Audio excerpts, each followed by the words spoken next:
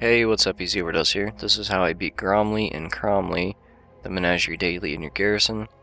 I went with a Zandalari Kneebiter with Hunting Party, Black Claw, and Bloodfang, a Zandalari Ankle Render with Hunting Party, Leap, and Black Claw.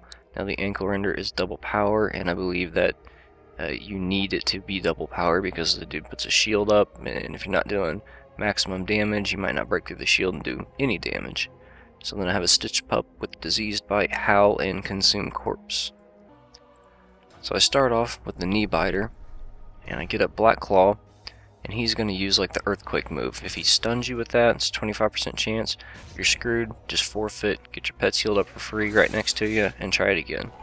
So then go into Hunting Party, it's going to channel for two rounds, and it's going to take huge chunk of his life off. Use Bloodfang to finish him off, is going to overkill him big time. So this guy comes out, just uh, keep refreshing Black Claw. Now this clip is uh, like a worst case scenario clip, or close to it. Um, he has a 50% chance to hit you with that, or not hit you with that. So if he hits you with that, this is what is going to happen. Just keep refreshing your Black Claw. And that's to prime it up for the other Zandalari pet. So use Hunting Party on this guy, and once again, if you don't have double power build, you might not have enough power to push through that shield he puts up. So you have two rounds of Hunting Party, and then just use Leap. It should take a big chunk of his life off. Once again, worst case scenario, he hits you with that and doesn't stun himself. So then you'd pull out your Stitched Pup, use Howl, and then use a diseased bite to finish him off.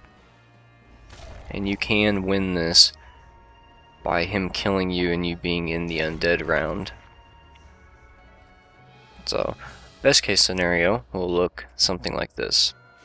Starting off on the killing blow of the first pet. Keep refreshing Black Claw.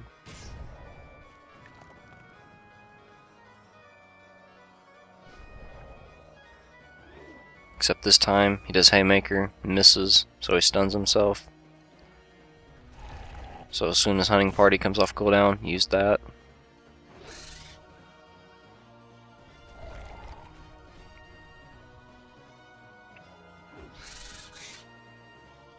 And then use uh, Bloodfang.